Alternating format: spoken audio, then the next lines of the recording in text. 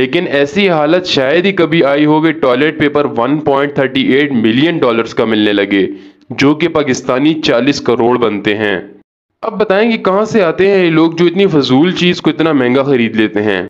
और मैं तो ये सोच रहा हूँ कि ये बंदा किसी को गिफ्ट भी नहीं कर सकता। वैसे देखा जाए तो ये बिल्कुल सिंपल नहीं। असल में ये टॉयलेट पेपर 22 कैरेट गोल्ड से बना हुआ है। लेकिन इस गोल्ड से बने टॉयलेट पेपर में भी एक खामी है कि ये काम सिंपल वाले की तरह ही करता है। आप लोग कमेंट्स में ज़रूर बताएँ कि अगर आप लोग बिलीनियर होते तो क्या आप इसे ख़रीदते?